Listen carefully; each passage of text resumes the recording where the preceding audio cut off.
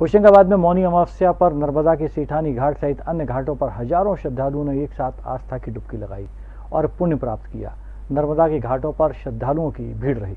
माघ माह में आने वाली अमावस्या को माघ मौनी अमावस्या कहते हैं। इस दिन पवित्र नदियों में स्नान करना काफ़ी शुभ माना जाता है। इसीलिए कई लोग इस दिन पुण्य लाभ लेने के लिए नदी स्नान करने जाते हैं।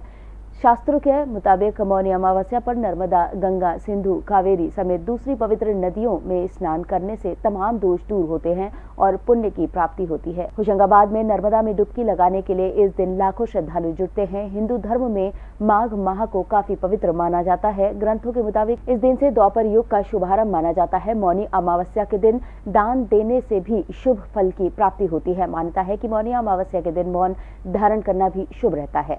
माना जाता है की इस दिन मौन धारण करने से विशेष ऊर्जा की प्राप्ति होती है। आज मौनी अमावस्या है। आज के दिन नर्मदा माई के स्नान दर्शन से बहुत ही दान पुण्य और सुख शांति मिलती है। जीवन में नर्मदा माई के चरणों में जो भी आएँगे उसके सारे मनोरथ पूरे होंगे। क्या किया जाता है? आज दान पुण्य किया जाता है। साधु संत ब्राह्मणों को दान पुण्य भोजन चाय नाश्ता और नर्मदा माई के चरणों में अपने दुख कष्टों के निवारण के लिए अपन स्नान करें जल आचमनम करें उससे अपने मनोरथ सिद्ध होते हैं जीवन में सुख शांति प्राप्त होती है। संगीत की स्वर लहरियों से सांस्कृतिक ताने बाने तक। चंबल के पीड़ों से नक्सलवादियों के गढ़ तक। झोपड़ी से महलों तक। ठेलों से मेलों तक। पगडंडियों से सड़कों तक। गाँव से शहरों तक। व्यापार से उद्योगों तक।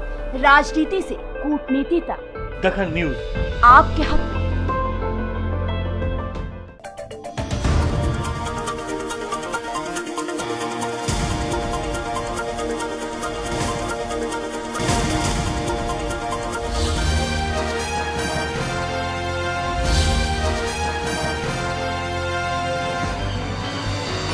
आप देख रहे हैं दखल न्यूज़।